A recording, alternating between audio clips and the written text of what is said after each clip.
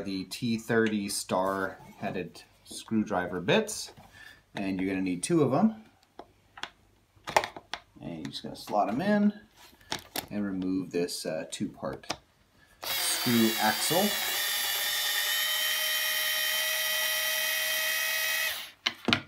A lot of strollers use axles with this sort of a system where uh, one part is flat and goes through the wheel itself and the other is like a acts like a cap on the opposite end.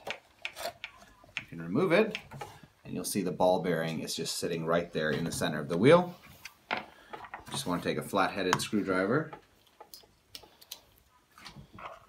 and you can pop it right out like this.